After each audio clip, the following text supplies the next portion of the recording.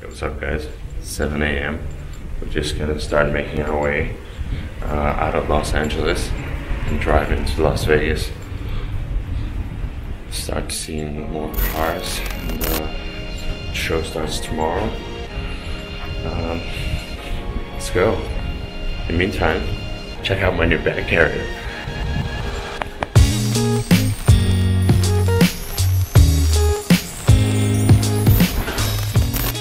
What's up guys?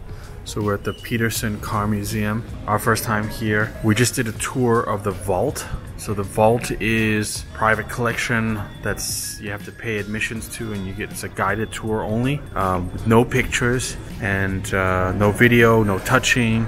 Uh, pretty cool stuff. A lot of classics, a lot of very rare um, historic cars um, dating back to the Model T. So yeah, it's pretty cool. And now we're up in the let's say the normal side of the museum. So we'll show you what there is to offer. Um, I see a few things. We're on the third floor and we're gonna work our way down. But first thing that caught my eye was so it's a Ford GT40 MK3. It's crazy.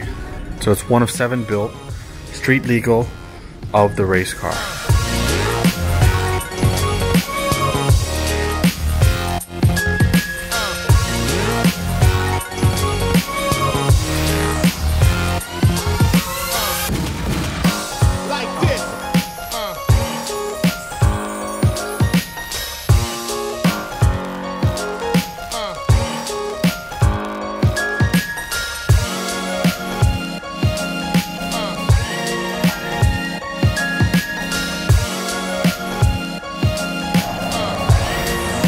Love it.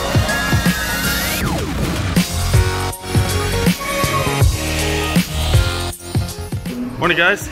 So we just arrived in Vegas last night and it's the first day of SEMA.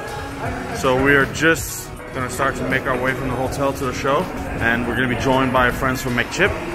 Uh, guys flew in from Germany over the over the weekend as well. So it's gonna be really great to head to the show with everyone. So wow, look at all these people. Look at all the all these people. Who are these guys? Morning, morning, morning, Grumpy.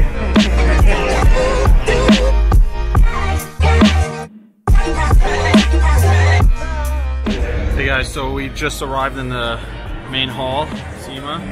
Uh, boy, is it already busy. It's only 11 o'clock. So we're just gonna take a look around and um, first stop we're gonna stop off at the KW booth say hello to a few people and then we have a few meetings lined up for the afternoon. So yeah, take a look.